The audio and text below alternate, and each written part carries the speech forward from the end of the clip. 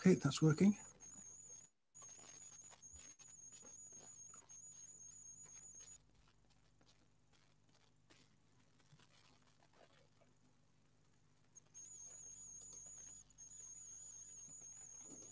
Let's see.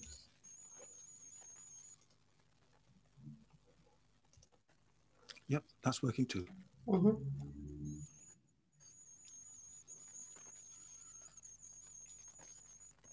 Okay, Alma. So, how do you want to do this? You you going to introduce me briefly, or do you just want it to open Yes. straight up, or what should we do?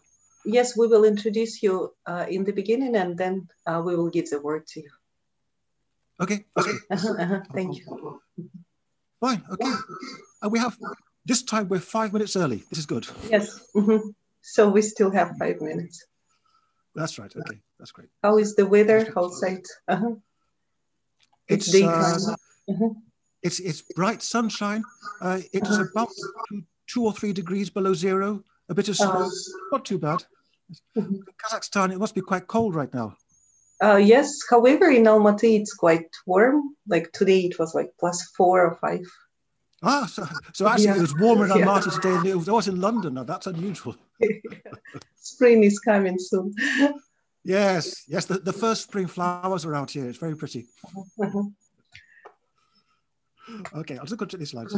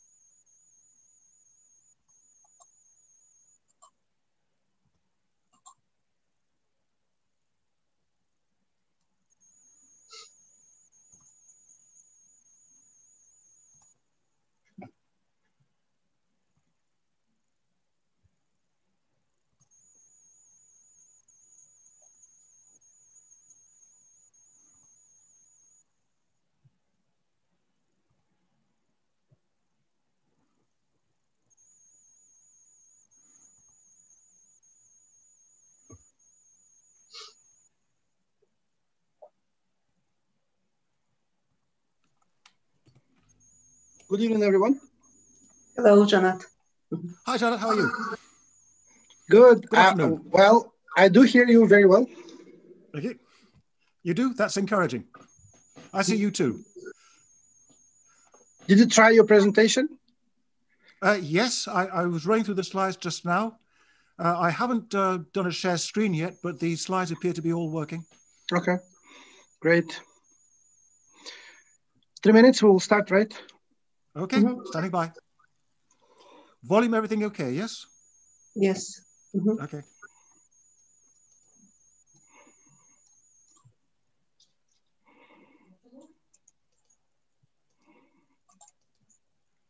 Alma, uh, you are moderating, is that right? Uh, yes, me and Janet, we will be moderating with the questions as well. Okay. Great. Now, for the questions, how do you want to do this? Are you just going to take questions off chat, or are people raising hands, or what do you want to do? Oh, regularly the uh, participants are writing their questions in Q&A or in the chat. So we will be looking at the, you know, like both locations, Q&A and Okay, chat. but, but, but, but you will read off the Q&A and you will put the questions to me, yes? Yes. Mhm. I don't, I don't have to look at the Q&A myself. Okay, that's fine. Just because otherwise I, I end up switching the screen. Yes? Mhm. Good.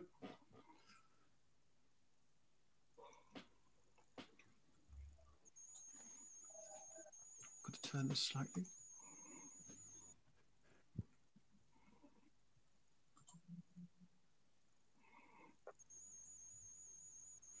I'm going to try with a bit more light. Wait.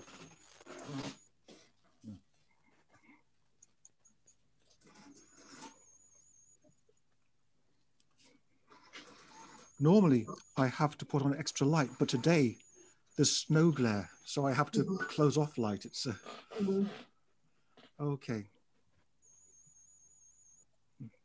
Jana, technical expert, is that lighting better than the one I had before or not? Or shall I go back to where Yeah, it it is.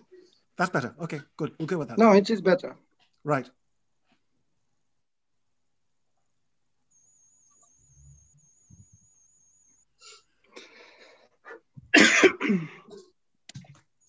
Ah, a COVID cough. Take care of yourself. I don't want you dropping dead during the presentation.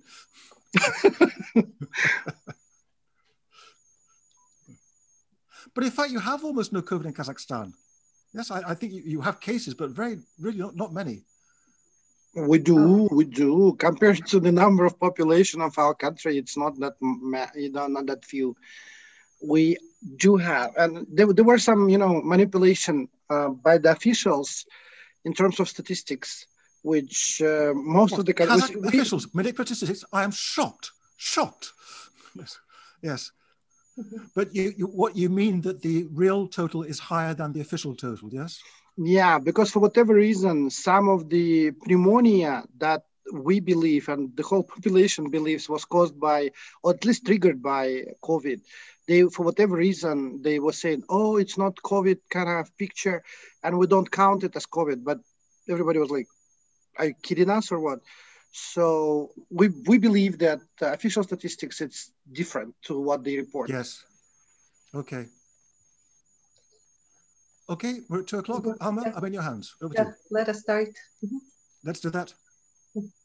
Good evening, everyone, every participant and guest, and our colleagues, and our dear students, alumni, and everyone who is supporting KIMEP by, you know, entering this event and by being with us. We're so happy that uh, you join us again and again. And um, as we started series of various guest lectures, we try to bring very interesting people to talk to you. And today we are proud to introduce our distinguished speaker, Mr. John Everard, the former British diplomat and presently UN consultant. Mr. Everard is having nearly 30 years of career as a diplomat in four continents, Africa, Asia, Europe, and Latin America. And uh, he was the youngest ever British ambassador when he has uh, received his first appointment to Belarus in 1993, where, where, he has built an embassy from the ground after the collapse of the Soviet Union. He also managed diplomatic relations as the UK ambassador to Uruguay in 2001 during the period of economic crisis and the country's election of its first left wing government. Mr. Everard has also been an ambassador in North Korea, and he is the author of the book Only Beautiful Please about his experiences in that country. So let us welcome Mr. John Everard with the talk on international relations after pandemic. So please. Thank you, Alma. Uh-huh. Okay, Alma and Janet, thank you for those warm words of introduction. Good evening, everybody. And thank you very much for, for giving up what is doubtless a beautiful spring evening uh, in Kazakhstan to listen to me. I, I hope that you uh, gain something from this and I hope you enjoy the lecture. Now, as you know from the program, I hope to talk today about international relations after the pandemic. Uh, that is to say, effectively, uh, international relations, one moment, me get a slide up. Uh, that's to say how the pandemic is likely to affect international relations. Um, let me say from the outset that uh, having asked this very big question, I don't really have an answer. Uh, there are too many unknowns right now. It's still unclear which way a number of the dynamics are going to go. But what I do think we can do, even at this early stage, is to look back at what has happened in previous historical examples of this kind of pandemic and see what the determining factors were that uh, decided international relations after those events took place. But just before I, I, I do that, uh, I, I ought to point out that there is a great deal of, shall we say, noise in the system. Um, that is to say that although we can talk about uh, the effects of the pandemic, of course, the pandemic does not uh, affect international relations in a vacuum. Uh, there is a great deal else going on. I've just picked out four issues there. Uh, if I had more space on the slide, I could have picked out many more. And as in all events like this pandemic, it's going to be very difficult uh, in the future to disentangle which changes uh, in international relations, and there will be changes, but which changes were caused by the pandemic itself and which were caused by other things that were happening at the same time. So, for example, the rise of National Socialism in China. Uh, the, the, photograph at the top right of the slide there uh, is of uh, President Xi Jinping, who, for the first time a couple of years ago, uh, wore military uniform on uh, Chinese Army Day, uh, indicating quite clearly the links between the Chinese Communist Party and the Chinese People's Liberation Army. China has become much more assertive, much more expansionist, some would say, much more repressive, and also, importantly, much more bristle. Uh, President Xi Jinping has taken uh, almost complete power into his hands, but with complete power comes complete responsibility, which means that when things go wrong, and things do go wrong, uh, that he carries all the responsibility. This is a significant factor in international affairs. It's one with which uh, all countries, including, of course, the United States, is still grappling, and we don't yet know how this is going to work out. Talking of the United States, of course, as we all know, uh, we have a new US administration under President Biden. Uh, a lot of his policy remains unclear, it's still being worked out. And we are having this discussion uh, while the United States Senate is deciding whether or not uh, to impeach uh, President Trump, ex President Trump, I should say. Uh, these are our big moments in American affairs a lot of international relations depends on what America, as the world's largest economy and the world's largest military power, does. We still don't know that. And with those kind of questions in the air, the future is unusually difficult to predict. Third point, trouble in Russia. Uh, the photograph underneath uh, President Xi Jinping is, as you can see, the OMON in Russia dragging away protesters who were angry uh, at the treatment of uh, Navalny uh, just a few days ago. Uh, Russia is uh, in a febrile mood. It's not at all clear how this is going to end. It's not at all clear. Uh, fourth point I wanted to raise as an example. Uh, strange within the European Union. Uh, as you know, I am British, but I don't just mean uh, the exit from the European Union of the United Kingdom. There are all kinds of other strains too. Uh, new uh, dissident values in Eastern Europe, in Hungary and in Poland, causing real tension with Brussels, real problems with the budget, and lots of problems over COVID. So altogether, when we talk about the effects of the pandemic, we are looking at these effects against a very complex and a very unstable background. Okay, how then might we set about thinking how the pandemic is going to change international relations. Uh, the most obvious way, uh, and one that I, as a, as a boring civil servant, will always go for, is to see what happened last time. Now, there have been previous pandemics. Uh, this is not the first time that the world or the known world has been swept by a disease. Uh, the picture at the top right there is of people trying to fight off bubonic plague uh, a figure of death, as you can see, uh, and uh, the poor man dying in his bed. Uh, the bubonic plague spread rapidly almost everywhere of the, uh, the European and, and Asian world, and uh, indeed throughout much of sub-Saharan Africa, much more lethal than COVID. And we can watch what happened after the bubonic plague and draw certain conclusions. wars also, wars of course are not pandemics, but in some ways, they affect societies and they affect international relations in the same way. Just as in a pandemic, in wars, very large numbers of people die. Uh, the poor soldier there uh, at the bottom of his trench uh, is uh, just one example. The big difference between wars and pandemics in terms of predicting the future is that in wars, you also get massive physical destruction. Physical infrastructure is destroyed, which mercifully is not the case in pandemics. So when you use wars as a precedent, I think you need to aim off just a bit. Uh, the picture at the bottom right there is of perhaps the most recent pandemic, uh, the, the one of Spanish flu.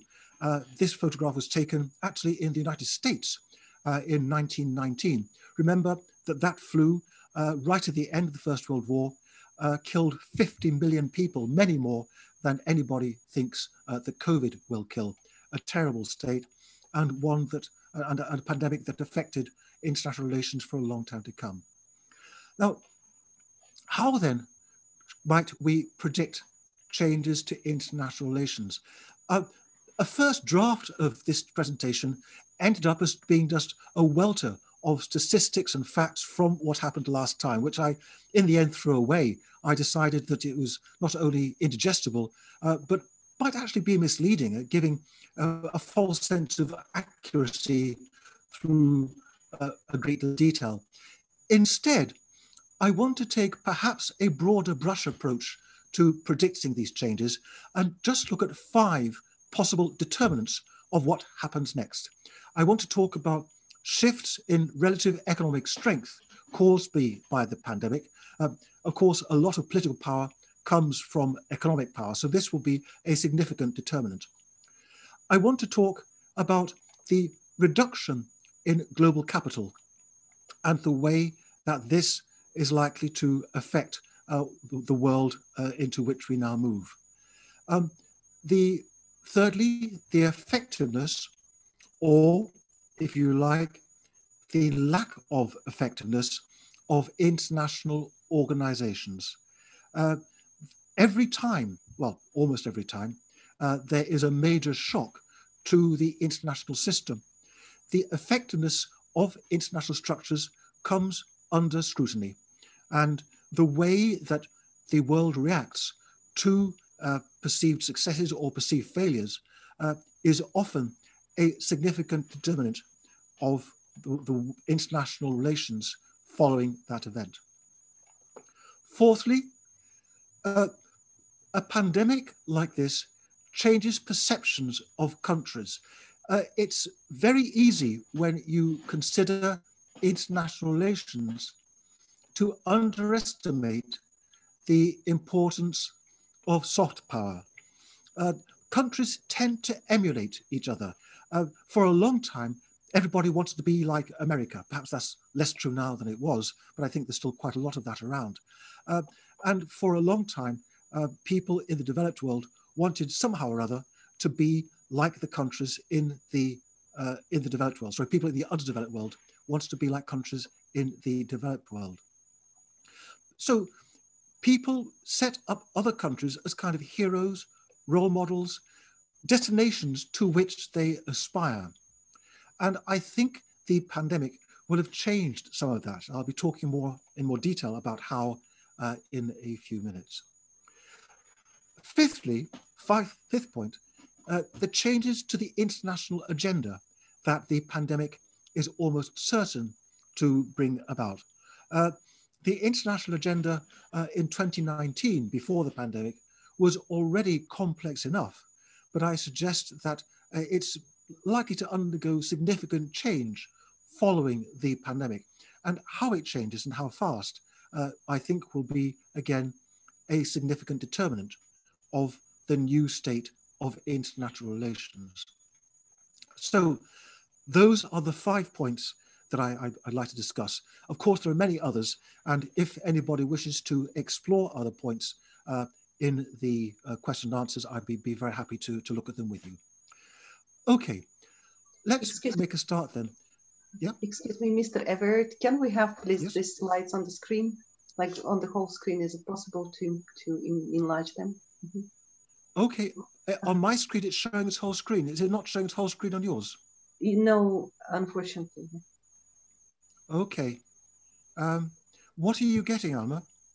Oh, Just we are getting yeah the the uh, smallest slides on the left, and we're getting some properties on the right, like some colors. Right. Okay.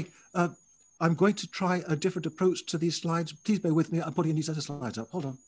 Thank you. Oh, yeah. now it's great. Oh, it was great. Now, now, now it, you've got nothing, I think, yes? Yeah. Okay, hold on.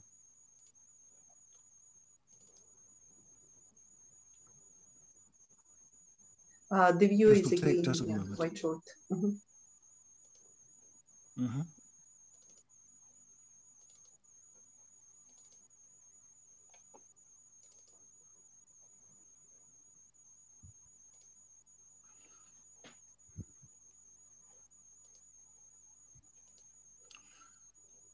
Okay.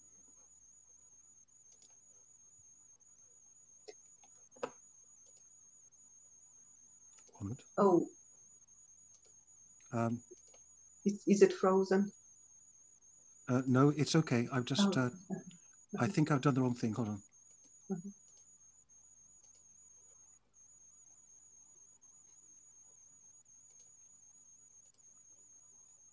One second.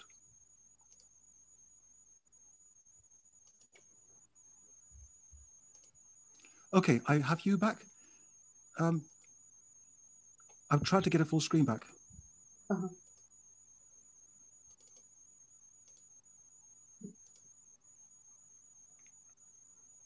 Uh, Janet, help me. How do I get back to share screen, please? Okay. Oh, you, are sharing. Okay, okay, okay, I've got, I've got it. Right. Oh, now it's good. Okay. Is that better? Yeah. Okay, good. Let's go, go with that. Thank you for your patience, everybody. Sorry about the minor technical hits there, but I think we've overcome it. Good. So as I was saying, um, five points there that I, I think we might want to look at uh, in our discussion today. Let's start with number one, shifts in relative economic strength. Uh, I, I think it's quite clear uh, who the short-term winners are uh, from the, the pandemic. Uh, the People's Republic of China has managed to contain the damage uh, of, from the pandemic, uh, the damage to its economy, much more effectively than most Western countries and significantly much more effectively than the United States of America. Um, there have been other tremendous success stories, uh, largely island states. Taiwan, New Zealand has done very well, and, and a few others. But there have been quite evident disaster areas. I mentioned the United States. Uh, Western Europe has been very badly affected by the pandemic. Uh, large parts of the economy have been damaged by extended lockdowns. And although we tend not to focus on it, Latin America has been ravaged horribly. Uh, places like Mexico, uh, Peru uh, have seen death rates far in excess of those elsewhere. But, but one thing that the various precedents that I was talking about a moment ago have shown us is that it's very important in analyzing the likely effect on international relations and indeed on future economic prosperity, come to that, to distinguish between the short and the long term. Uh, the photograph uh, is of a German city uh, Dresden, actually. And it's important to remember that in 1945, uh, people thought that Germany was almost finished, uh, that the place had been so badly wrecked that it would take uh, a, a, very long time before it recovered. In fact, even Dresden, of course, was in East Germany, uh, which recovered more slowly than the West. Germany roared back. Um, the, in many ways, uh, the pandemic acts like a forest fire. It burns down old trees, and a lot depends on what kind of green shoots, what grows out of the ashes of the pandemic. Okay, so what then might determine relative economic strength following the pandemic? There are, again, this is one of those questions that you can discuss at enormous length. I've tried to pin it down uh, simply to, to six points here. Uh, firstly, your starting point. Uh, it, it's better not to suffer too significant economic damage in the first place. Uh, the countries uh, that survived uh, the Black Death in the 14th century uh, found themselves with a much stronger economic basis on which to build than countries uh, which suffered more. And remember that in, in countries in the 14th century that had the Black Death bad, uh, that something like one person in five, 20% of the population died. So a tremendous effect, not just on demography, but on the economy.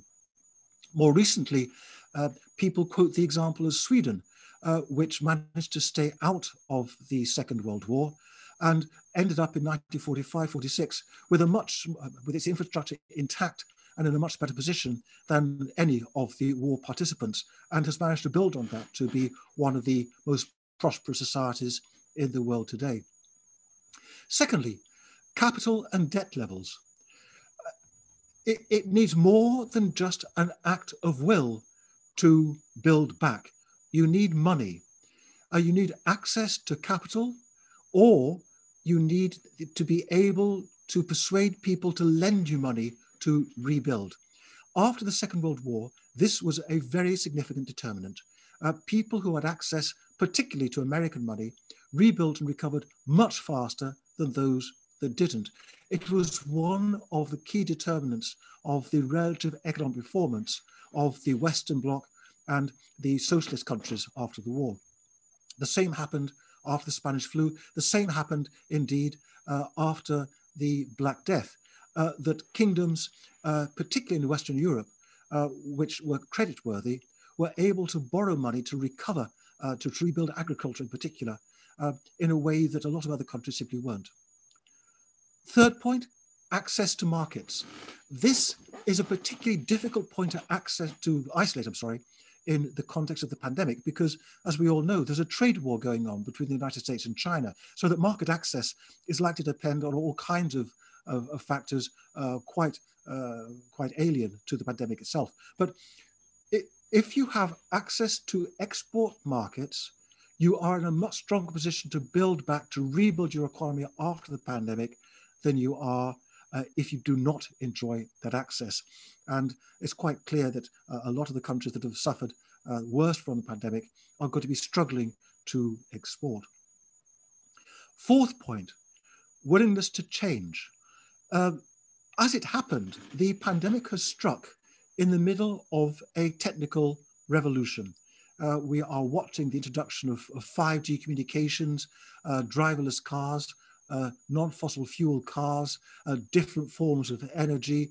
And the pandemic has accelerated some of these trends. In particular, uh, it has accelerated the trend away from the office, uh, the Zoom revolution, if you like, which of course we're putting into practice as we speak this evening, or this afternoon if you're in London. New working practices can be revolutionary. They can unleash tremendous amounts of productivity. Uh, so that the ability to embrace these revolutions and to put them to good effect will, I think, be important in deciding who comes out on top economically in future. Fifth, political cohesion.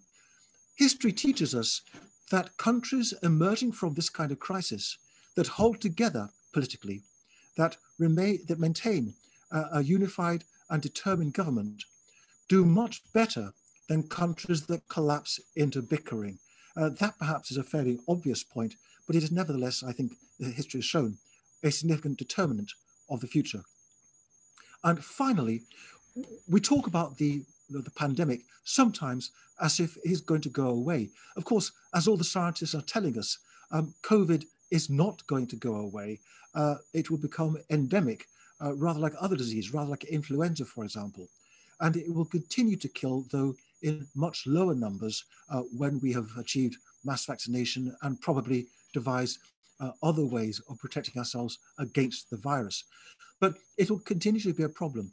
Countries that devise long-term and effective uh, defenses against COVID will find their economies in much better state than those that are weak on this point and that allow recurrences, resurgences uh, of COVID over long periods of time. This was shown particularly in the case of Spanish flu. Uh, countries that managed to quell it quickly in 1919, 1920 uh, recovered much faster than those that allowed further outbreaks to happen. And there were further outbreaks right through the 20s, often uh, into the 30s in some countries. Okay, that's relative economic strength. I talked a moment ago about the reduction in capital. One of the uh, most damaging effects of this pandemic is that it has destroyed huge amounts of capital worldwide. There is quite simply a lot less money to go round than there was in 2019. Governments have drawn down reserves, uh, spent sort of emergency funds, and often uh, put themselves deep into debt to alleviate the effects of COVID. And that money, of course, is, is no longer there. I mean, it would have to be rebuilt by years of productive work. In, when you have an event like this pandemic, uh, it's there are analogies, if you like, with a stock market. Uh, in some ways, and I don't want to press the analogy too far, uh, nation states tend to behave in international competition in the same way as companies do in stock markets. And the behavior changes depending on whether, well, just as the, the behavior of companies and the, uh, the favor the companies receive from investors changes depending on whether the market is rising or falling. So the same happens in international affairs. Where there is a shortage of capital, where there's no money to go around, capital tends to concentrate itself on safe bets in the developed world, places with uh, well-regulated uh, economies and often with, uh, with well-regulated uh, legal systems. Um, the, uh, that's what happens when the, the, the, capital shortage. When there's plenty of money around, then investors uh, tend to be much more prepared to invest in countries that are not so economically central to the world economy.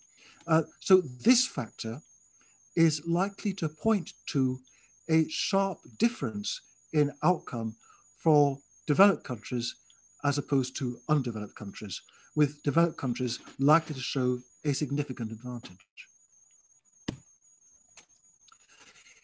International organizations. Uh, repeatedly uh, in the history of the last 150 years, uh, international organizations have been found wanting. Um, the, after the First World War, the, which left everybody involved in a state of shock, uh, it was recognized that a better international arrangement than the just conclaves of the great powers was needed to manage world affairs and the League of Nations was born, a clear step towards a more global approach to managing uh, global affairs. After the Second World War, where the League of Nations had been seen to be sadly lacking, uh, a whole raft of new institutions were, were, were founded. The United Nations, of course, the most famous, but also the Bretton Woods institutions, the International Monetary Fund and the World Bank. Uh, what uh, and a lot is going to depend on how we respond to what I think we have to recognize is a further failure of the international institutions this time round. Uh, the signs so far have not been great. Uh, we've seen clear indications of vaccine nationalism as people try to keep vaccines within their own borders for their own people. Uh, we've seen even within what seemed to be the most promising single multilateral experiment in the world, the European Union, a resurrection of national borders against all the, the European rules, uh, where people simply prevented travel across what was supposed to be open borders. Uh, that's one regional organization. Uh, in other regional organizations, I think there's been an almost complete breakdown. Uh, looking around the world, uh, Mercosur in South America did nothing to help its member states during the pandemic. The SADC in Southern Africa inactive. ECOWAS in West Africa, nothing happened. Um, I, I, know, uh, I think a lot of my uh, audience are citizens of a member state of the Commonwealth of Independent States. Now, I'll leave you to decide how effective that multilateral institution has been in dealing with the pandemic, but I suggest that uh, there might be some dissatisfaction there. Overall, when the World Health Organization has been active, but has also been heavily criticized for its role, but the United Nations as a whole has been almost absent. When did any of you last hear of the United Nations Security Council taking rigorous steps uh, in the face of the pandemic? And although there have been tremendous uh, economic consequences to the pandemic, uh, I think you could argue that the major international financial institutions too have not really stepped up to the plate. Uh, where was the IMF? Where was the World Bank when all this was going on? Uh, so I think a lot of how international relations are going to look after the pandemic is going to depend on our reaction to this. Are we going to rebuild international institutions as we have done after previous wars, um, as we did, in fact, after the Spanish flu pandemic, although it's very difficult to disentangle the effects of that pandemic in this regard from those of the First World War? Or are we going to retreat into uh, non-global nationalism? I've put up there, as you can see, a photograph of President Trump, the great prophet of single state nationalism. Make America great again. Don't use good American money to support uh, failing international institutions. Are we going to see more of this? Or are we going to, as I say, to rebuild institutions that failed us first time round? The fourth point, new perceptions of countries. Countries, citizens, have kind of heroes abroad, as I said. But I think some of those heroes have probably been toppled off their pedestals. I think the three big questions that is going to, that are rather going to affect soft power uh, as we look at the future are firstly, whose fault was this in the first place? Now, I am speaking as we have a World Health Organization visit to Wuhan in China, uh, trying to establish where the pandemic started. But most experts, at least at this point, believe that it did indeed start in China, um, either in Wuhan itself or somewhere close by. It's possible that it started spreading in Wuhan and was brought from a different region of China.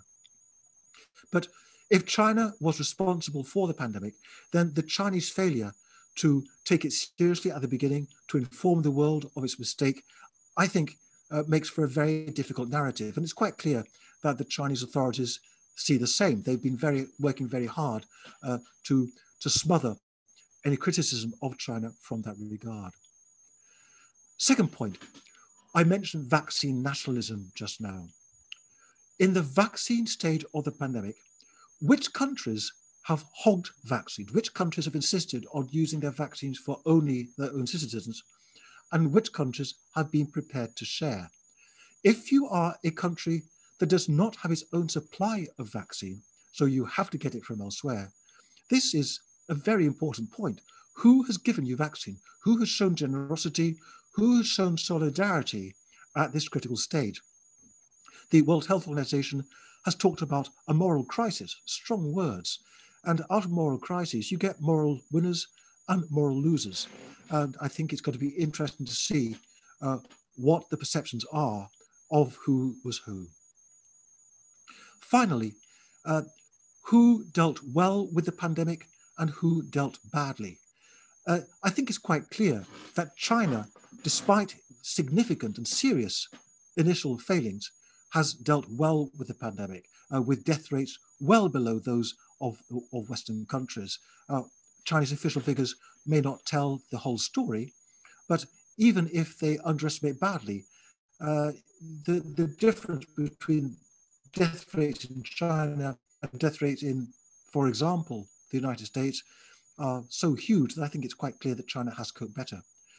And you can see that countries like the United States that have simply not done well in dealing with the pandemic have lost prestige, uh, including in China. Uh, it's heartbreaking uh, to hear previous liberal, democratically inclined Chinese say, well, actually, maybe the American way of doing things isn't as great as we first thought. Maybe there are problems there, and maybe there are advantages to our own approach after all. So I think there will be a whole lot of changes in perceptions of countries uh, based on their behavior in the pandemic. Changes to the international event agenda, my fifth point there.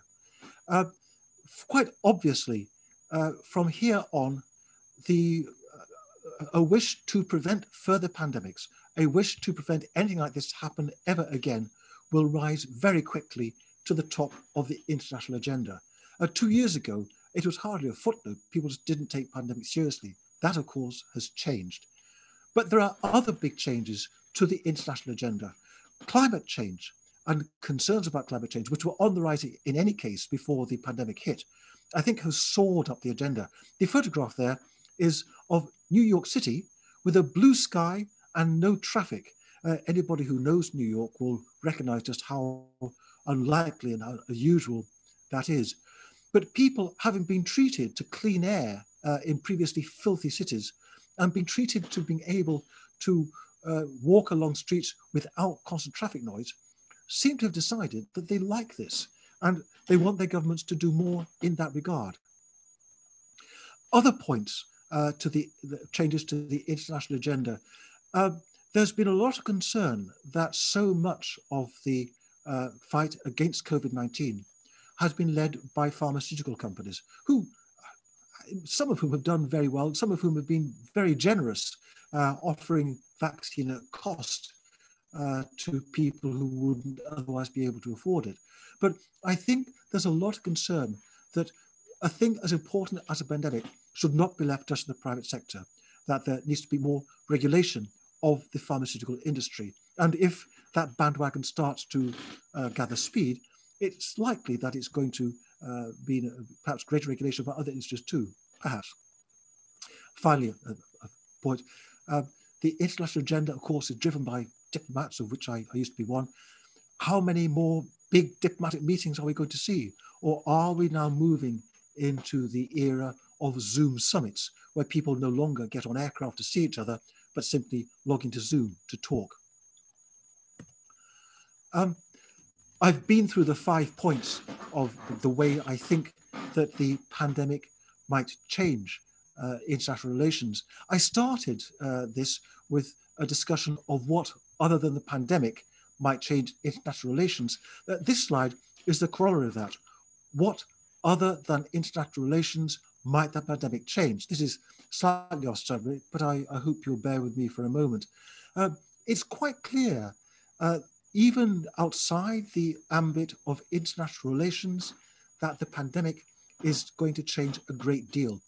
People are talking about the death of the office, uh, even if uh, people still go into the office for face-to-face -face meetings from time to time. It does seem likely that now that we've all learned to work from home, that this new skill is going to be applied in future. It means that you can work uh, without having to get on uh, your, your, transport and go to the office without having to commute. Uh, and it means that you can take breaks and you know, go and walk the dog or deal with your children uh, in between work tasks.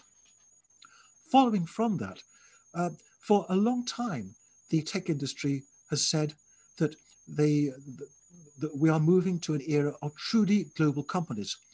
One of the effects of the Zoom revolution is to accelerate this because if you have a workforce that is not physically any longer going to an office, uh, you can take them anywhere you like. It, it, doesn't matter whether somebody is physically sitting in London or Almaty. You can have a global company, a virtual company, people dialing into Zoom meetings from all over the world and run an international business drawing on the best talent from everywhere.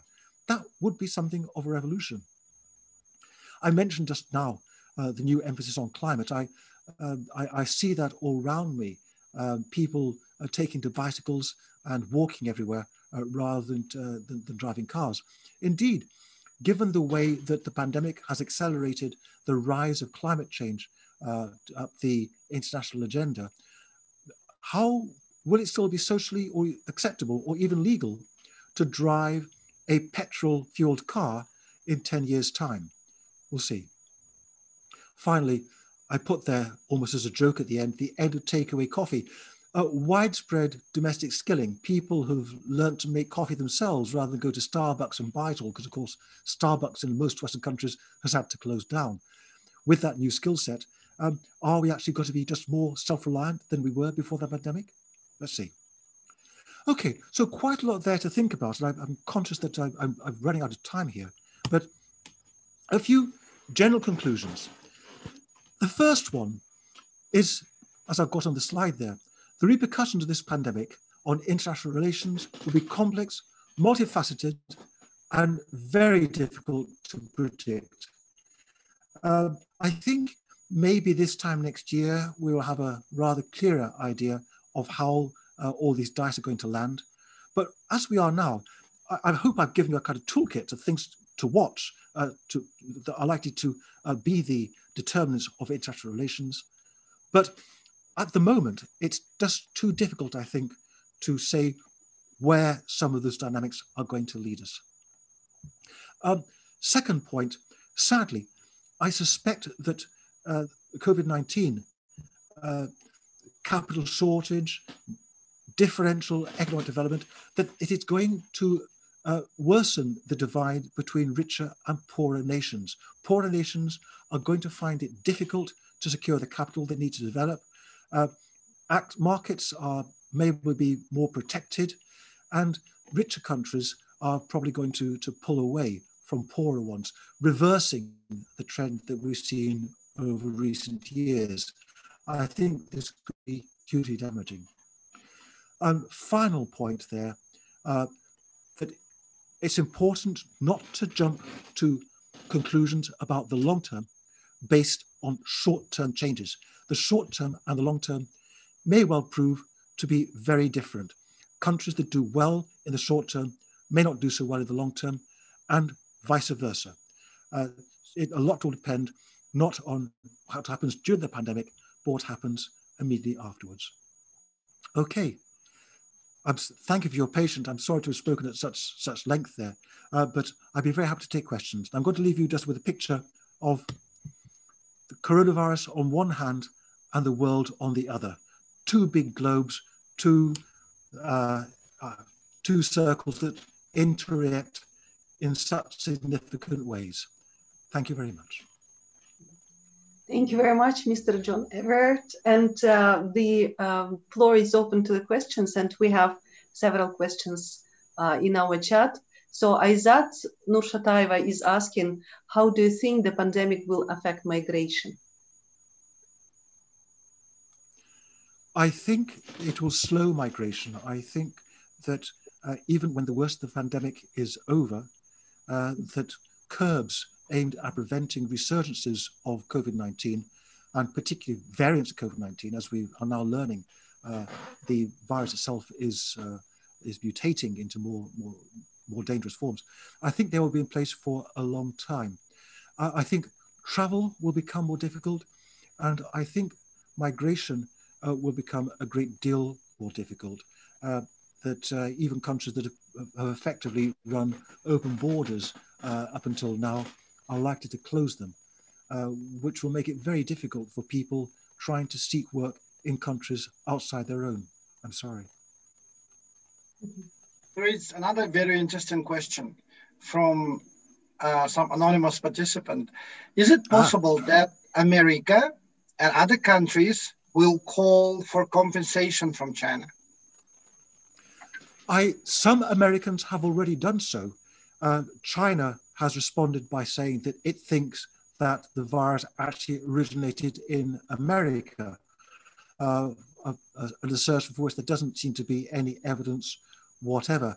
Uh, I, am not sure that America will actually formally demand compensation, uh, but I think there will be an expectation that China, as it were, having landed us all in this mess, uh, goes above and beyond uh, the efforts of other countries in efforts to sort it out.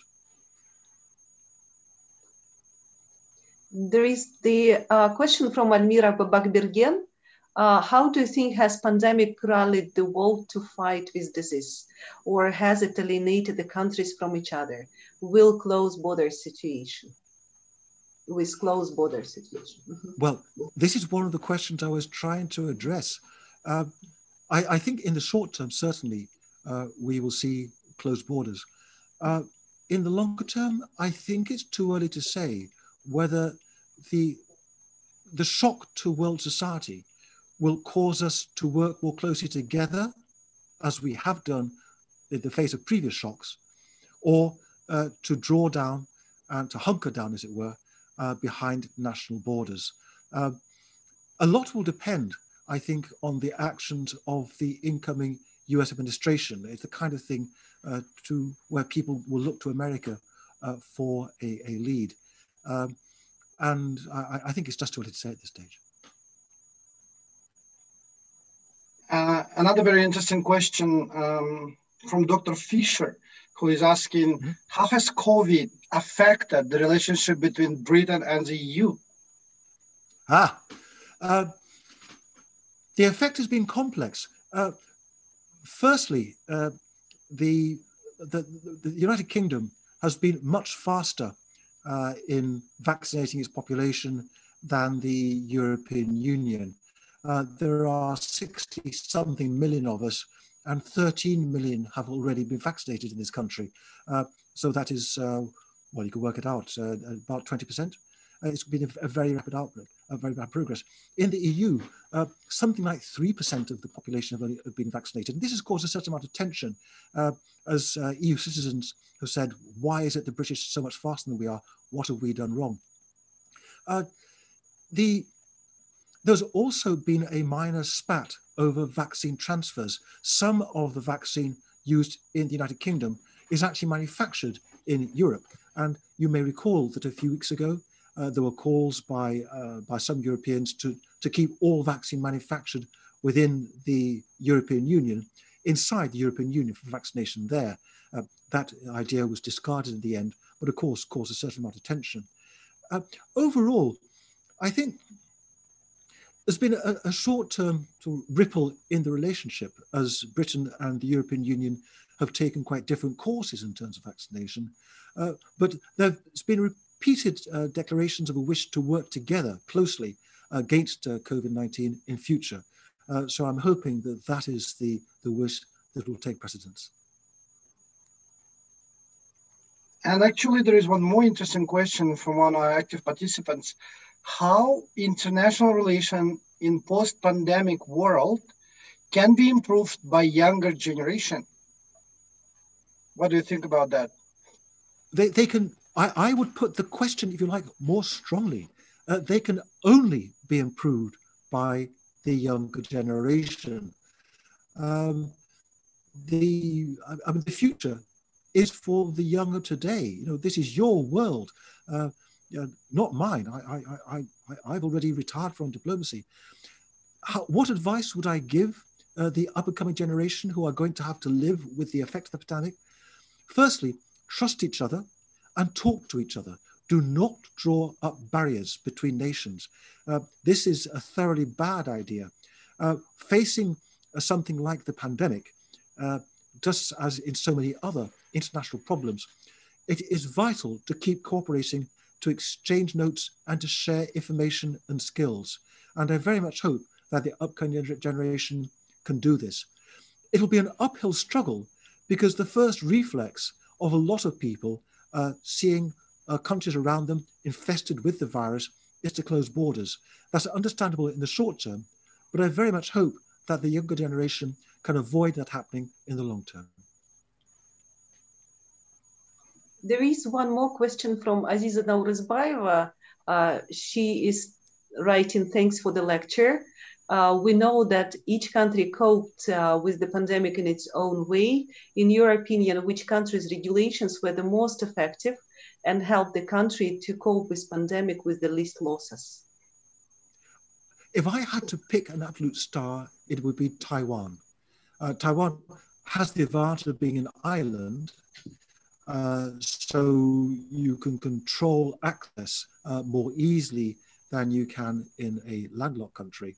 Uh, but uh, the, the, the secret of Taiwan's success was to react very quickly, not to give the virus time to take hold, and to have a track and trace system, uh, a test and trace system, I'm sorry, uh, that was effective and determined. So that if you were, were found to have the virus in Taiwan, straight away, uh, the authorities would devise a list of all the people you've been in contact with and isolate them. Um, China has uh, done something of the same, uh, but Taiwan has been even more effective. Other countries that have done well, New Zealand has adopted something of the, the same uh, technique. And I think it's important to point to these two examples because uh, the Chinese have been trying to claim that effective, uh, effective defense against COVID uh, is easier under a police state like China than it is in a democracy. Taiwan and New Zealand show that that simply is not true, uh, that these two open societies, open democracies, have actually done better at coping uh, with the virus than is China. countries that have done badly, I'm afraid that I'm sitting in one. Uh, in, in the United Kingdom, uh, over 100,000 people have died of the virus, which in, in terms of death per population is much worse than, uh, than, than most other countries. I think it's something like three times the death rate that you've had in Kazakhstan. Where did we go wrong?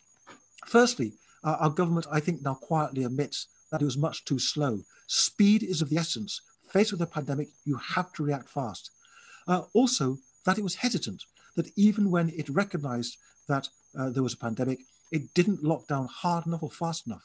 And interestingly, in the United Kingdom, uh, it's become clear that ordinary people were actually much more in favor of rigorous, hard measures against the pandemic than the government itself was. The government was frightened of offending people. In fact, people were way ahead of the government. They wanted a lockdown early and they wanted it hard, but they didn't get it with tragic consequences. There is one more question uh, from Camila Mirvanova.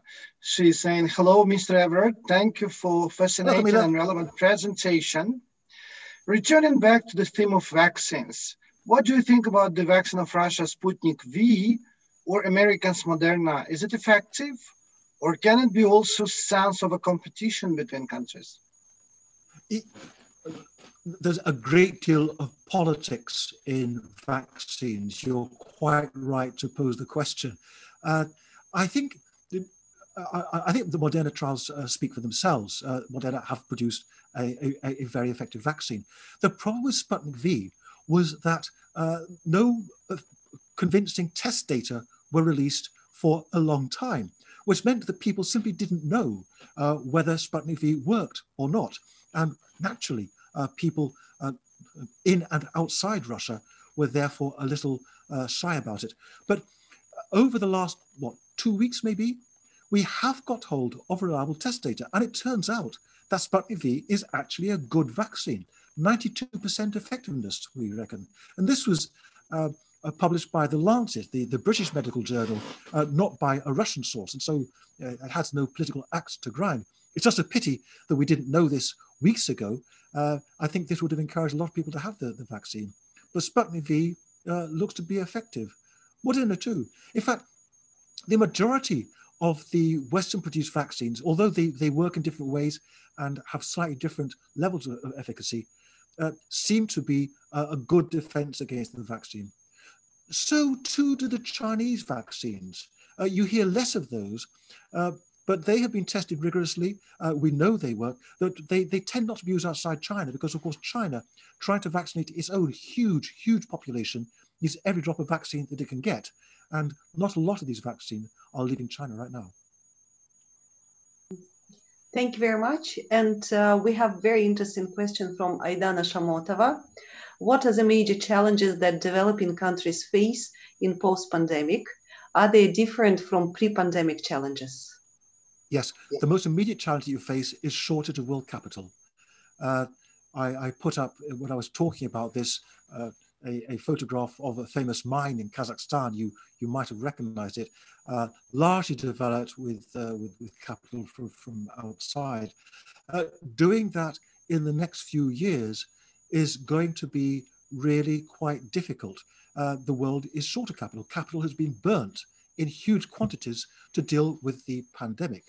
Uh, this is going to be a major challenge, uh, both as developing countries seek to pursue uh, development plans that were in existence before the pandemic and to repair the economic damage of the pandemic itself. And as I said uh, in the, my uh, pre-penultimate slide, uh, this is likely to mean, I'm afraid, that the economic performance of developed and less developed countries is likely to diverge further following the pandemic than it did before. Uh, here is another question from Dr. Fisher. Uh, it seems clear that it is not the last epidemic. How can we prepare better as a world community? Should there be another Bretton Woods conference, this time with an emphasis on fighting future pandemics? What do you think? I don't know whether the way forward would be a conference, although I can I can see uh, quite strong arguments for that. Um, I think if you held a conference on pandemics right now, it would sadly degenerate very quickly into a slanging match as everybody tried to blame everybody else uh, for this current pandemic. So if you have a conference, maybe best to wait till tempers cool a bit. Uh, how should we cope with future uh, future pandemics? You're quite right. This won't be the last. Uh, firstly, lessons learned. Uh, I, I, think sharing a best practice. Governments need to prepare proper plans for pandemics. Uh, a lot of governments were caught with no workable plan in place at all. Uh, they need to understand the need to act fast. They need to understand the, the need to share information at an early stage. Uh, while the Chinese government uh, was quite unhelpfully uh, trying to shift blame for what happened off China's shoulders, Chinese scientists, in a remarkable display of international solidarity, were working through the night to sequence uh, the, the, the genome of the uh, of, of, the virus, and uh, that work proved invaluable in helping everybody to develop vaccine. It was a major Chinese contribution.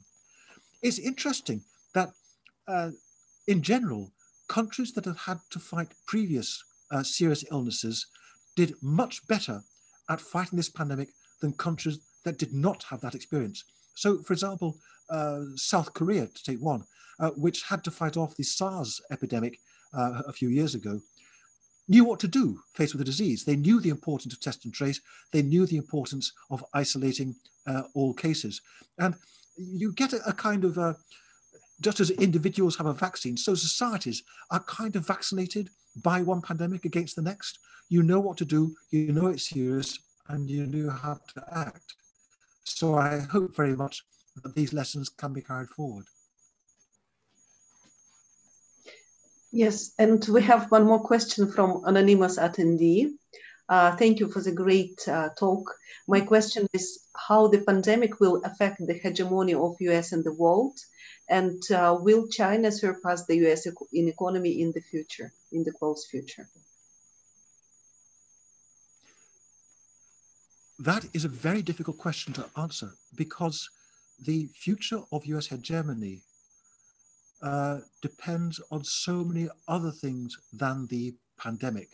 Um, I, I, whatever happens over the next 10 years, whatever timescale you wanted to name, I think it's going to be very difficult to disentangle uh, which effects were caused by the pandemic and which were caused by, for example, tensions in American society, uh, the sharp divisions in American politics, uh, the effects of rivalry, uh, economic and military, come to that, uh, with other countries, notably China. Do I think the Chinese economy is going to overtake the US economy? Uh, well, it, if current trends continue, yes, it will. I mean, that's not a political judgment, that's just a question of arithmetic. But of course, we can't be sure that they will. One thing the pandemic has taught us is that the world can change very significantly and very suddenly and without notice. And that could affect uh, the relative economic performances of China and the United States as much as any other uh, world relationship. I mentioned earlier that China is brittle. You cannot simply assume that China continues to develop at its current relatively rapid pace or that uh, the current uh, success that China enjoys will continue into the future. Uh, the future remains unpredictable. Uh, and it's, it's quite possible that the Chinese economy will overtake the US, but it's not a certainty. Thank you. And there is one more question from Ziriye Irlan, which is actually another one. Does anti-vaccine activists pose a serious threat to global recovery after pandemic? I think they pose a serious regional threat to recovery from the pandemic. Um, the phenomenon, though, is probably too localized uh, to affect the long term trajectory of a global recovery. Uh, Anti vaxxers tend to concentrate in certain. Like France uh, has a very strong tradition of refusal to take the vaccine. Um, Russia has had one, but I think that was largely because people just didn't trust the Sputnik V vaccine. Um, now that it's been shown uh, externally to be a good vaccine, uh, maybe the take-up rate will become faster. Uh, in countries that are more vulnerable, uh, it, throughout South America, uh, throughout Latin America, up to that, throughout Sub-Saharan Africa, and I think throughout most of, uh, of Asia, anti-vax movements have been much weaker and take-up rates of the vaccine have been much higher. And I think that provided that doesn't change, uh, that the chances of a, a, a global recovery, a vaccine-led recovery from the pandemic, are, remain good. And these are unlikely to be derailed uh, by anti-vax movements in some countries. Uh, thank you very much, uh, Mr. Everard. Uh, there is the question from Irna Bahati. Uh, thank you for the amazing presentation. I would like to ask a question regarding the island of Taiwan. Uh, as you know, Taiwan has been doing really good uh, in, fight of uh, in fight against COVID-19, and actually is one of the few countries that already live in their normal lives like pre-COVID times. How do you think the future international relations perspective between Taiwan and the other countries? Do you think that Taiwan will gain more support from the rest of the world in the near future? I yes, I, I think firstly, I think that uh, a lot of countries have been impressed by what Taiwan has achieved in fighting the, the virus. Uh, of course, relations with Taiwan are always complicated by the actions of the People's Republic of China. And uh, just a week ago, uh, the People's Republic put out a statement saying that a declaration of independence by Taiwan would lead to war. So a lot of saber rattling. And uh, countries know uh, that if they are openly too close to Taiwan, they risk their relations with the People's Republic of China, uh, which are often bound up with lucrative trade and uh, which are important to their economy. So the hesitancy, I think, will continue. Will Taiwan's success in fighting the vaccine therefore mean uh, a wider international net, mean more countries having close relations with Taiwan? No, I doubt that, but I think it might well slow the loss of uh, diplomatic allies that, China, that uh, Taiwan has suffered over recent years. I mean, uh, various countries have uh, changed their recognition uh, from Taiwan to the People's Republic, and I think that process will, will slow. And I think it might encourage some countries to, uh, to push the margin just a bit, maybe to develop closer relations with Taiwan, provided they are satisfied that the People's Republic is not going to respond too vigorously to any such effort. A lot depends, of course, on the actions of the United States, uh, which has a particular relation with Taiwan. Uh, I think if President Biden makes clear that he intends to stand by US commitments to Taiwan and to continue to protect Taiwan against China, that that will encourage others to develop closer relations. Thank you so much. And actually, there is another question which is in line with this one, maybe to some extent. Thank you, Ambassador Everard. Thank you for your lecture. This is from Ulan Nukan. What do you think U.S. post-pandemic strategy in Central Asia, especially in Kazakhstan under Biden administration? What do you think of wow. the U.S. Um, post-pandemic strategy in Central strategy Asia? To, to, towards Kazakhstan? Yeah, especially in Kazakhstan under Biden administration. Don't know. Uh, I, on this, frankly, I can guess, but my guess is probably not much better than a guess that you might be able to make. Uh, so far, the Biden administration has said very little about what it intends to do in Central Asia. Uh, it's clear that the, the, broad outlines of US diplomacy uh, will look much more like uh, the approach taken by the Obama administration than uh, those taken by the Trump administration, which suggests a much greater degree of traditional diplomatic involvement uh, in Central Asia, in other areas too. Uh, probably a lot of support for allies, um, and uh, probably too uh, a, a, a, greater willingness to allow US uh, companies to invest. If, of course, as I say, uh, the money is there for them to invest, which may not be the case given the capital burn the pandemic has caused. inevitably, Central Asia and US relations with Central Asia are going to be affected by US relations with China. Uh, as China uh, seeks to expand its, its influence, uh, it's going to come right up against US influence in Central Asia. And I, I just don't know how that kind of standoff is going to play out.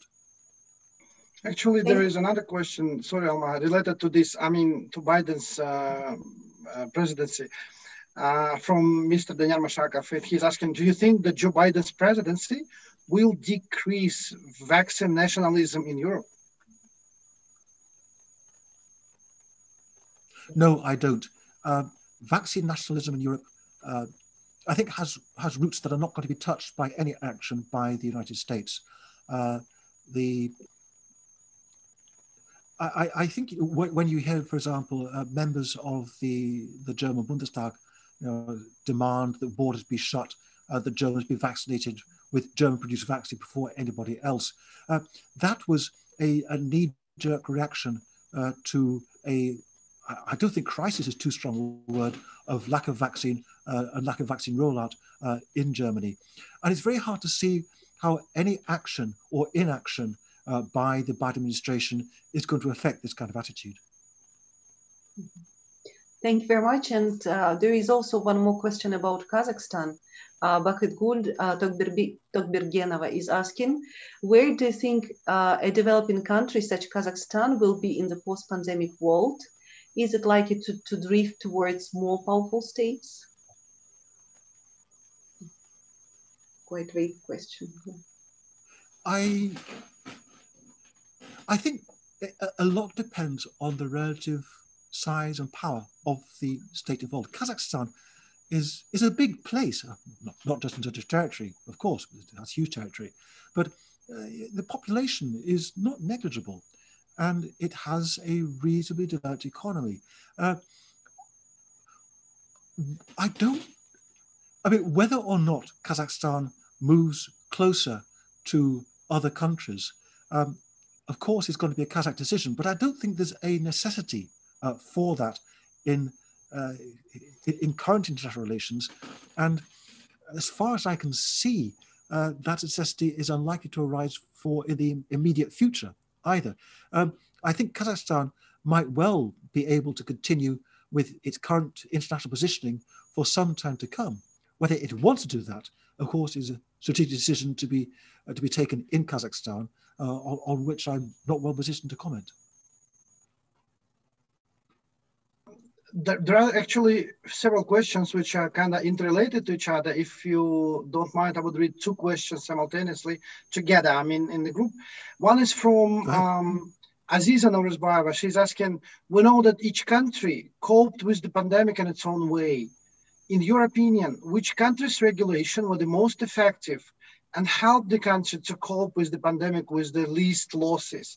And there is another question from Alwa Kwanshkali, she's also asking what mistakes did we make when we fought the pandemic? Was it right to lock people in their homes?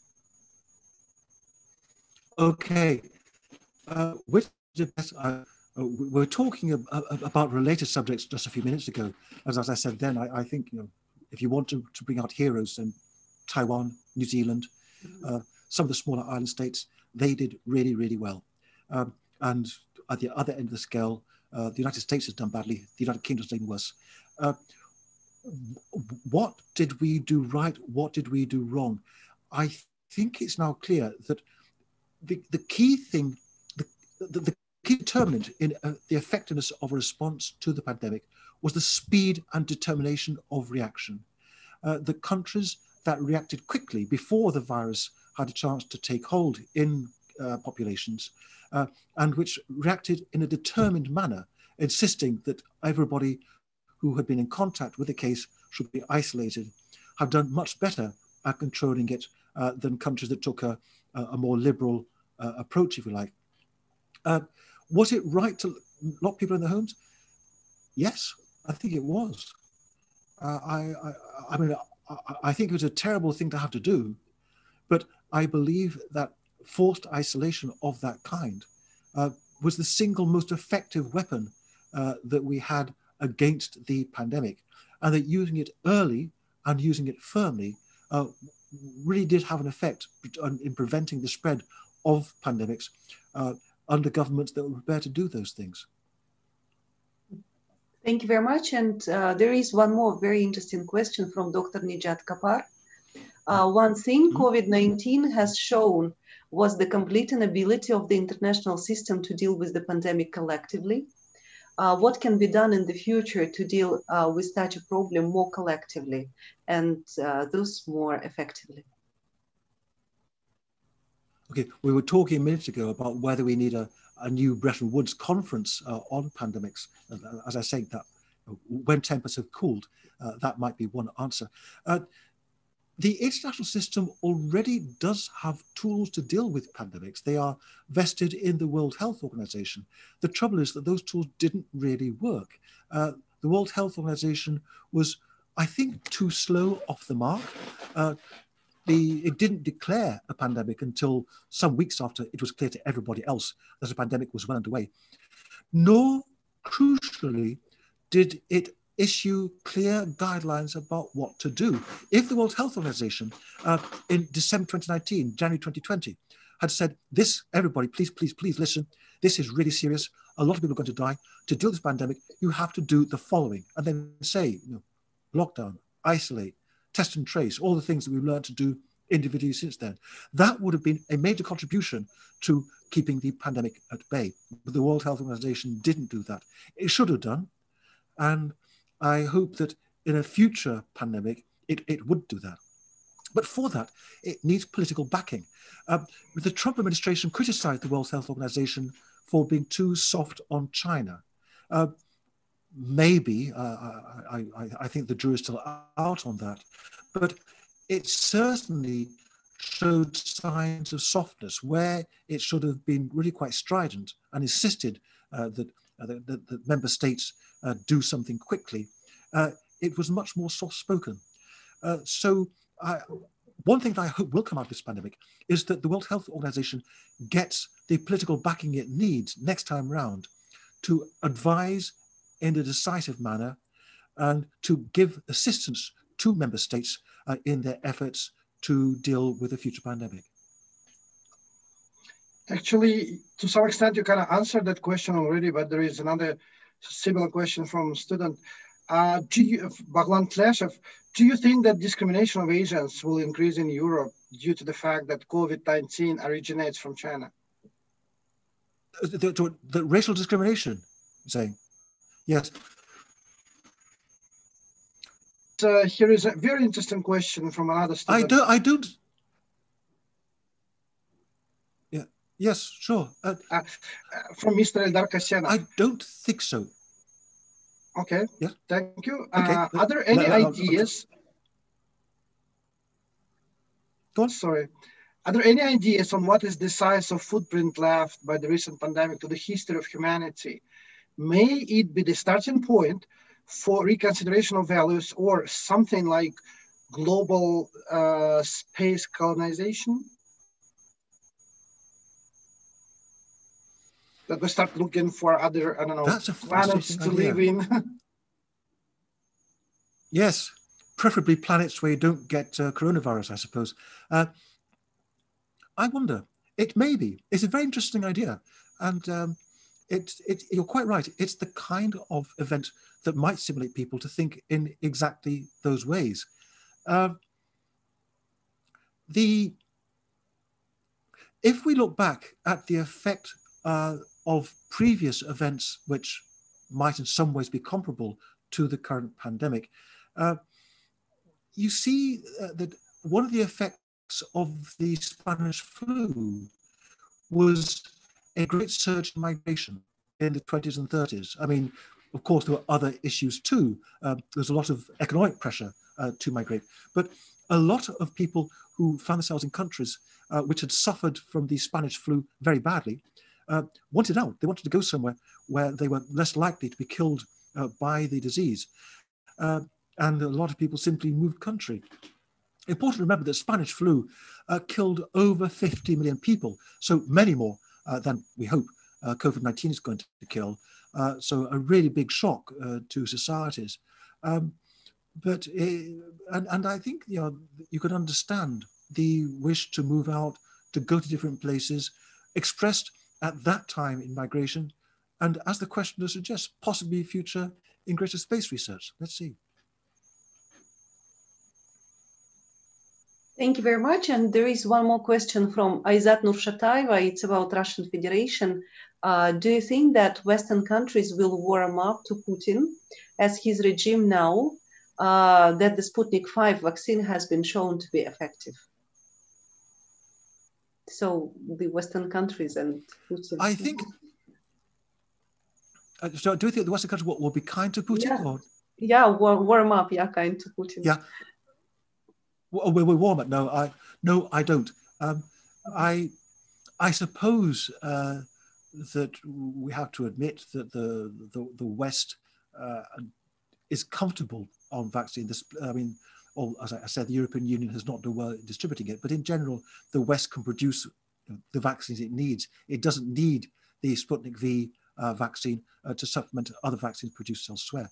Uh, I don't detect any softening towards Putin uh, in Western governments. Uh, on the contrary, um, at the moment, if you if you discuss Putin with Western politicians, as I hear often in discussion programs, uh, the issue they focus on isn't uh, Sputnik V, the successful vaccine. Uh, it's Navalny. Uh, there's general horror at the way that Navalny has been treated and the way that Putin has increased repression in Russia. And I think that is likely to be the dominant theme rather than any kind of warming because of the vaccine. Actually, there is another question related to Russia and its vaccine. Can we trust Russian vaccine? And in the brackets, the country that falsifies the results of doping at the Olympics, possibly bought the holding of the World Cup and poisoned its own citizens? I mean, is it likely that they gave the wrong results or statistics on vaccine trials to the Lancet and to the All Scientific Society? Good question. Uh, I the Lancet has a reputation for treating any data that is given to it very carefully, and I'm sure the editors uh, will have been aware uh, of the possibility of falsified trials. Uh, they nevertheless chose to publish the result and, and to endorse it. I, I'm not. I can't tell you uh, what processes they went through to check the facts as presented them, to them by by, by Russia.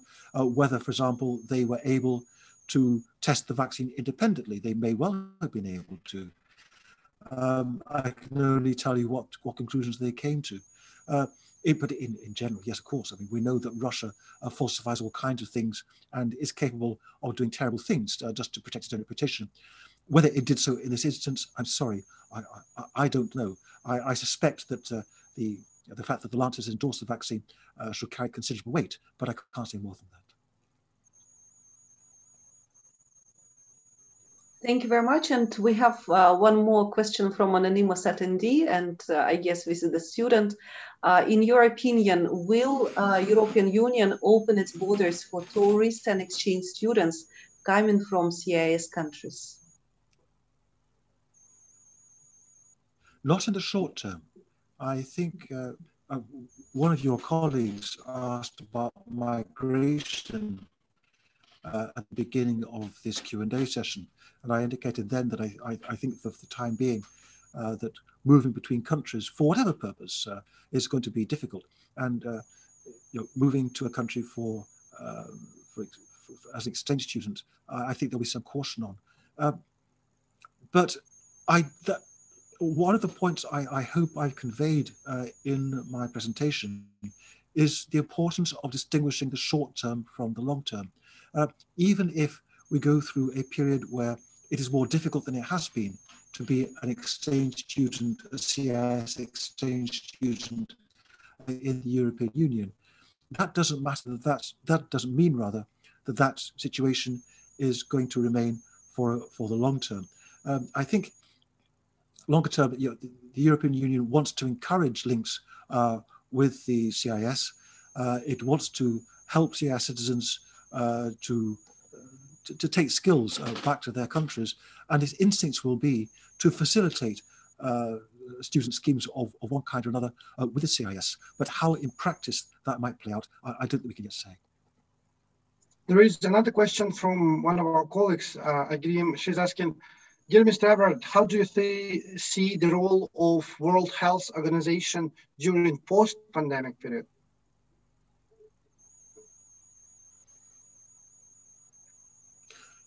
To be honest, uh, I suspect that the World Health Organization will um, will go through a period of internal restructuring and reflection. That uh, when the worst of the pandemic is over, it will suddenly go very quiet. I think it's internally as well as externally, it has a lot of questions to answer. Clearly, a lot of things didn't go right uh, during this, perhaps this, this biggest single test that the World Health Organization has ever faced. And it is going to want to draw into itself, to learn lessons, to restructure so that it is better able to, to cope with the pandemic. Uh, I think in the post, in the immediate post-pandemic period, uh, the international organizations that are likely to, or at the very least ought to come to the fore, are the financial ones. The, the, the main challenge is going to be economic reconstruction, uh, which points to a significant role for the World Bank and for the IMF. So far, both have, as I said, have been very, very quiet. I hope that changes, and I hope that they now become rather more active. And there is one more question, although it doesn't really relate to the uh, uh, politics. Uh, thank you for the valuable information that you have shared here. Uh, what do you think? What are the options to create some international business with the USA based on the current situation um, related to COVID? I,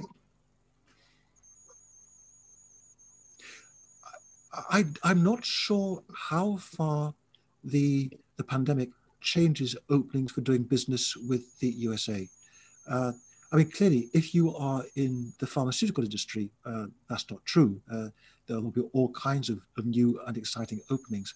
But uh, I think the assumption is is going to be that when the US finally gets around to vaccinating its people, to creating a proper herd immunity uh, against the, the virus, uh, that it, the US economy will go back to something like uh, the normality we observed before. There will be changes, certainly. Uh, but the, opportunities that there always have been uh, for different companies outside the United States to trade with, to do business with that country uh, will return uh, quite possibly in ways that will be familiar to anybody who is doing business with the United States in 2019.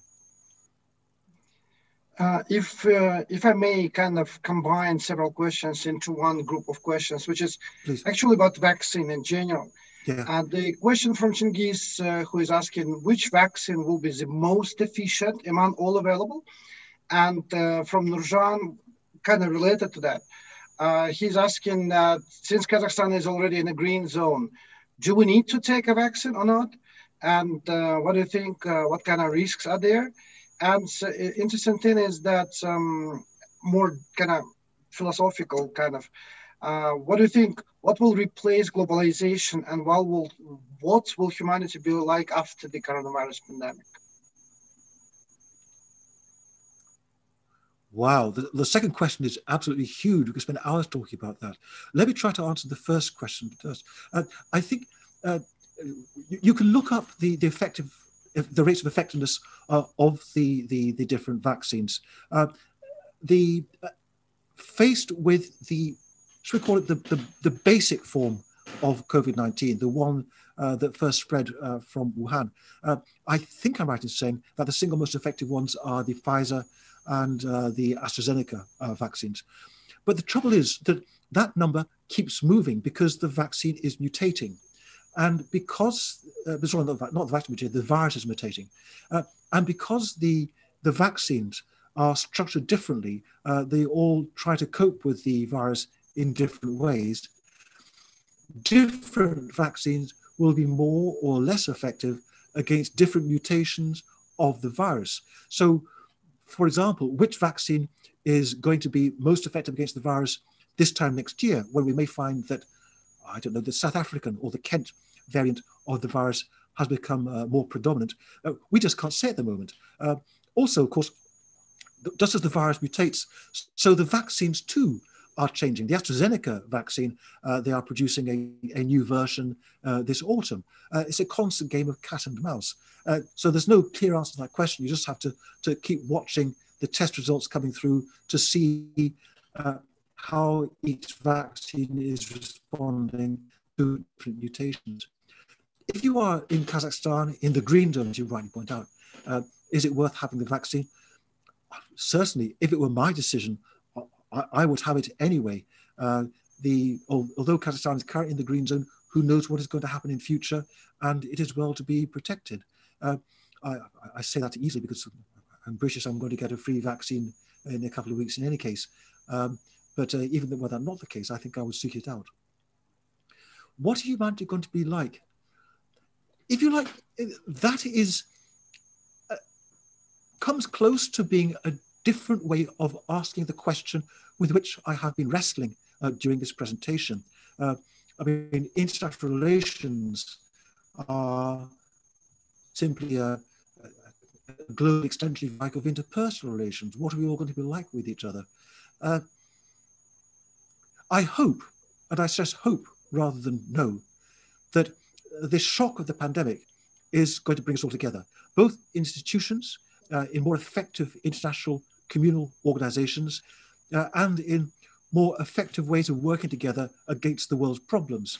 Uh, I fear, however, that it might isolate us, that the shock of the pandemic is going to cause uh, people, families, as well as nations to draw behind locked doors. After all, we've all had a lot of practice, at least we have in the West, of you know, living in an isolated way. Uh, we haven't been able to mix with people uh, for, for quite some time. And I fear those habits uh, may take long-term root. I hope I'm wrong. Thank you very much, Mr. Everard. Unfortunately, we are running out of time. So is it possible to ask the last question? Um, although, you know, very similar questions have already been asked today, Admira Bagbergen is asking, can the world after the pandemic be as it was before? And uh, how long will it take to recover? No, the world cannot be as it was before. You cannot go through an event of this kind and simply return to a pre-existing normality. Uh, the world will change. Uh, I, I, I, in one of the slides, I tried to explore some of the ways in which it might change. Uh, these, both the direction of the changes that I discussed are difficult to predict, and I'm sure that there'll be all kinds of changes that neither I nor probably anybody else has thought of. The one thing we can almost be certain of is the world in future uh, will not be the same. I'm sorry, there was a second half of the question. Remind me, please. How long will it take to recover? That will depend a great deal on where you are. I think some countries will recover very quickly. Um, the Western Europeans are well poised to get back to where they were at the end of 2019 in maybe a year. I mean, that is the, the current prediction. Latin American countries will take a lot longer. Their economies have been badly devastated. What will happen in Central Asia? What I know is a question close to the hearts of many of the people uh, today. I, I, just don't know. I, I, mean, a lot depends, of course, on whether Kazakhstan, for example, remains in the green zone, remains relatively unaffected uh, by the vaccine, by the by the virus, or whether uh, it's caught by a further surge uh, in the virus later on, and is not for it. And it depends, as I've indicated, on how easy it, it becomes to get access to, to capital uh, for the future. These are unknowables, but I doubt if, um, but if so, like Kazakhstan is hit by the virus badly, I fear it might take quite some time to recover. Okay, Mr. John Everard, so thank you very much. And on behalf of the um, all the participants and guests today, I would like to say uh, by the words that were used today the most, thank you very much for the amazing lecture. And uh, we would like to wish you all the best in your all your future projects. And uh, we wish all of us yeah, to recover very fast from the COVID. And um, uh, we hope to see you offline someday at KIMEP University. Uh, you will be very welcome to join us uh, for various types of lectures or conferences. Thank you very much. Albert, thank you, thank so you for those very kind words. Thank you, everybody. Uh, for, for, for listening. I'm sorry that I ended the last question on downbeat notes. Uh, uh, to be more upbeat, I mean, the, the, the, the, pandemic destroys a lot of old structures, gives you young people the chance to build new ones I hope you'll grasp the opportunity and build a fine and better new world. Thank you all for your time. Thank you for listening. Thank, Thank you. you. Bye. Thank you. Bye bye.